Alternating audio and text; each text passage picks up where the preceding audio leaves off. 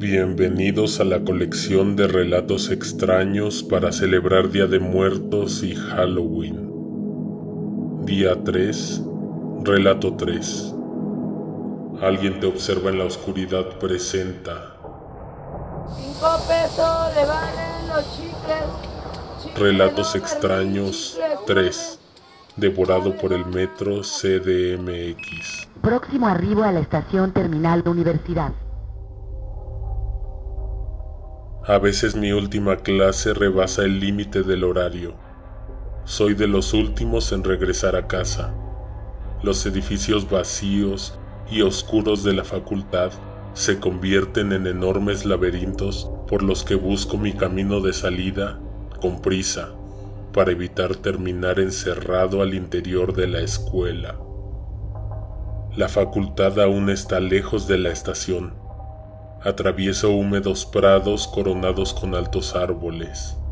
Al final del corredor de piedra, un lejano destello muestra la entrada al metro. Es un tramo tan solitario y oscuro que a veces, cuando la noche es más pesada, pareciera que el ambiente se hace denso y el final del camino se extiende hacia la lejanía.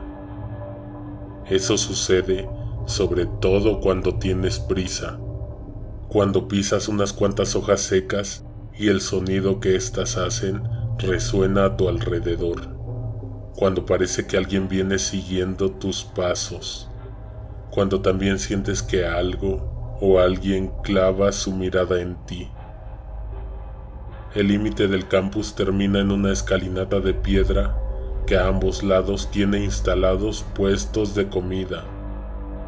A esa hora, esos puestos están cerrados y sus techos oscurecen el camino que la débil luz artificial del paradero proporciona al camino. Ahí termina la vegetación y su frescura, la piedra volcánica, el sonido de aves nocturnas e insectos. Comienza el paradero de autobuses, un largo corredor con techos de lámina. A derecha, Viejos y altos camiones separan la banqueta de la calle por la que ya no pasan coches. A izquierda, las rejas metálicas contienen densos arbustos que esconden penumbra, tinieblas. Ya entrada la noche, las parpadeantes luces de las escaleras que conducen a la nave principal de la terminal solo sirven para dotar la escena de misterio. A las 10.40 generalmente quedan pocos estudiantes en la estación. Hay unos cuantos pasajeros distribuidos a lo largo del andén y casi al final estoy yo. Es la terminal de la línea. Las puertas se abren siempre revelando un vagón vacío y en ocasiones así se va, vacío hasta mi destino. Puedo escoger el asiento que quiera hay veces que solo para variar me voy parado frente a las puertas o pegado a la ventana, mirando las paredes del túnel, las luces azules que hay esporádicamente a lo largo del camino. Entre la estación Viveros y Coyoacán siempre me había parecido ver un agujero. Podría haber sido una derivación del túnel, una desviación, un taller entre estaciones. El tren va tan rápido siempre que jamás había podido ver con claridad qué era ese agujero. Pero una vez, hace unos cuantos meses, el tren se detuvo entre esas estaciones y el vagón, así como la ventana próxima al asiento donde estaba esa noche, quedó frente a ese agujero. No noté de inmediato que me encontraba ante el agujero que había llamado mi atención desde siempre. Fue algo que creía haber visto de reojo. Dirigí mi mirada hacia la ventana. Primero vi mi reflejo y luego, a través del cristal, el misterioso pasaje. Me acerqué al vidrio y con la mano tapé el reflejo de la luz interior para ver más allá. Era algo así como un largo corredor, ancho en su conexión con el túnel, pero que hacia adentro se iba haciendo angosto. lo vi oscurecido en su totalidad. Solo la luz que salía por las ventanas del vagón iluminaba un poco la entrada. Ahí, entre las penumbras, me pareció ver algo. O a alguien. Pudo haber sido un desordenado montón de basura o de piedras, pero después de un largo rato lo observo y se mueve. Se aproxima un paso hacia el tren. Puede que estén haciendo reparaciones. El tren se había detenido por algo. Pero trabajar en absoluta oscuridad no tiene sentido. Si es una persona, puedo ver qué tan alta es. Alcanzo a distinguir sus extremidades, pero no su cara, aunque algo brilla en su rostro. No son sus ojos, probablemente sonríe. De pronto, un pensamiento me aturde, me deja sin aliento.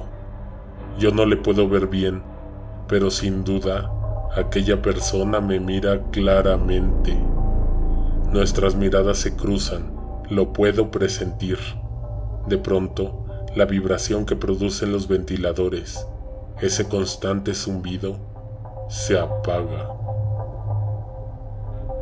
dándole paso a un incómodo silencio. Retrocedo al asiento contiguo. Estoy asustado. No quiero moverme. Volteo a mi alrededor.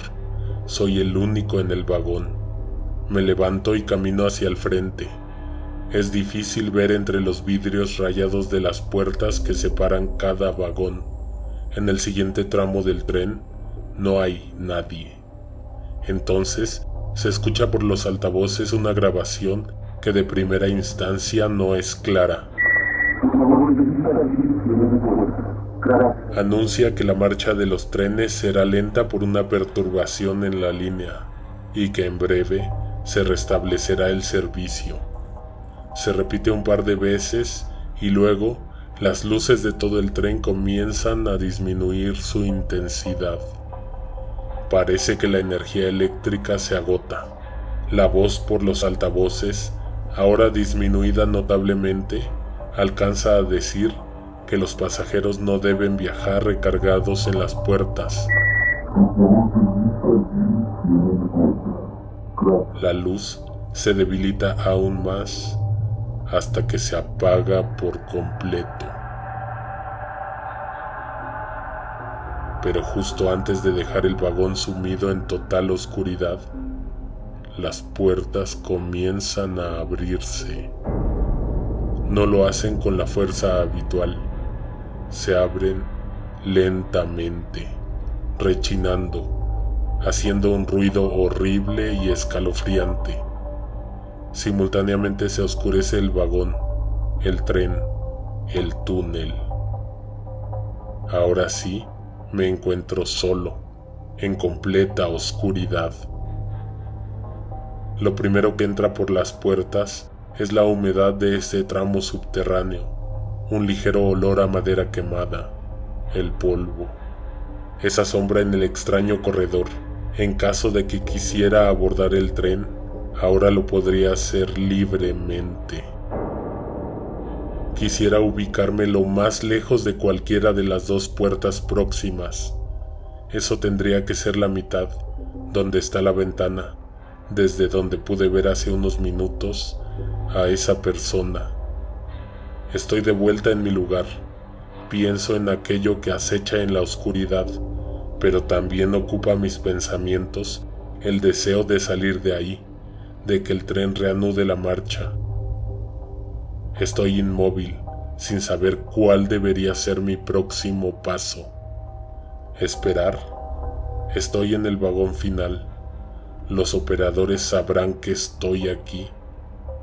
Me desespera pensar que pudieron darles indicaciones a los demás pasajeros para que descendieran del tren y caminaran a un lado de las vías. He visto en las noticias que esas cosas suceden y suceden seguido. Probablemente estoy muy lejos para oír esas indicaciones. Volteo nuevamente hacia la ventana donde vi el agujero en el túnel pero no puedo distinguir nada. ¿Seguirá ahí el ser que se escondía en la penumbra? Enciendo el flash de la cámara de mi celular y lo apunto a través de la ventana en dirección al agujero, pero sigo sin poder ver nada más que mi rostro reflejado en el cristal. No puedo escuchar ruidos provenientes de esa dirección, pero casi puedo estar seguro de que eso sigue ahí. De pronto se encienden las luces, se cierran las puertas. Mi vista no se acostumbra inmediatamente al brillante y repentino destello. Entrecierro los ojos, pero intento mirar a través de la ventana. Ya no hay nada, nadie. El tren comienza a avanzar. Por una parte siento alivio, por otra parte siento intranquilidad. Me levanto de mi asiento y me acerco a la puerta. Quiero bajarme en la siguiente estación, aunque no sea mi último destino. Me pasa por la cabeza tomar un taxi hasta mi casa. Reviso mi cartera y veo que solo traigo un billete. Faltan un par de estaciones para llegar a la estación donde siempre me bajo. Miro la hora. Aún pasan unos cuantos trenes antes de que suspendan el servicio. Tan pronto como el tren comienza a llegar a la siguiente estación, yo ya estoy parado cerca de la puerta. Me bajaré y tomaré el siguiente, o el que le sigue a ese. El tren se detiene por completo, se abren las puertas, nadie aborda, la estación está desierta. Salgo al vacío andén. El tren no arranca inmediatamente. Pasan varios segundos antes de que se escuche el aviso de cierre de puertas.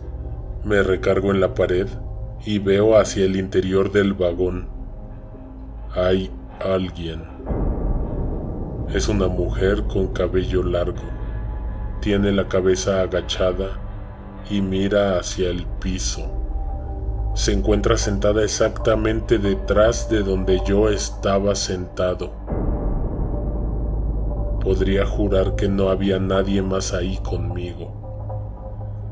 El tren anuncia entonces su partida con un muy particular zumbido. Ese ruido me sobresalta. Tengo los nervios a flor de piel. Avanza lentamente. Yo me encojo de hombros. Hace frío. Hace miedo.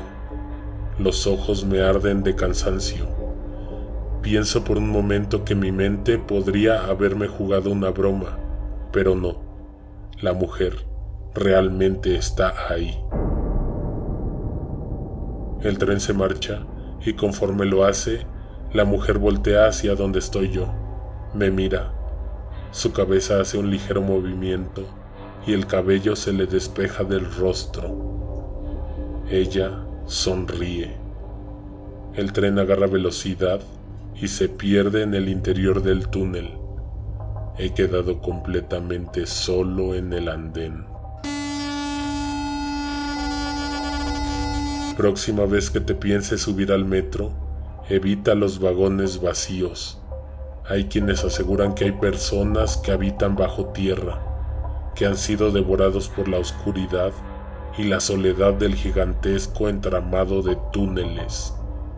Es por precaución. Feliz cumpleaños Yadi Aime Feli.